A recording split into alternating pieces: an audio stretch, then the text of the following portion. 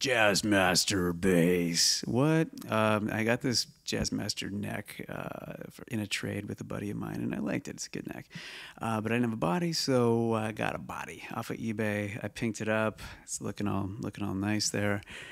Um, and hey, it looked really good. I looked at that guitar for hours. I liked the way it looked, but it sounded like a bass. It didn't sound like a guitar. Nothing about it sounded like a guitar. I changed the pickups all the time. I changed the neck, and it never sounded like a Jazzmaster. So I'm like, you know what, man? Let's make this thing into a bass. And uh, so I mocked up a little pickguard that almost fits. It almost fits. Um, and I'm like, let's let's do this thing. I'm gonna plug up this uh, tremolo hole with uh, with some pine and um, is that it? Oh, that's the ugliest part of the uh, of the bass right there. I shouldn't even show it. This is me going hardcore. That's like string through. This is we're doing it for real now.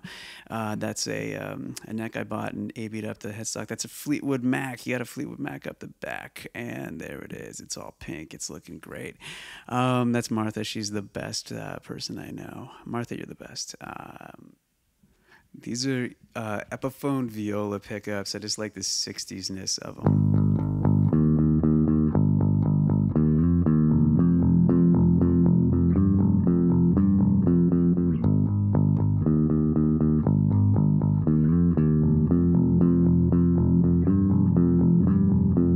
And I got this, I got this funk I just gotta play. Damn it.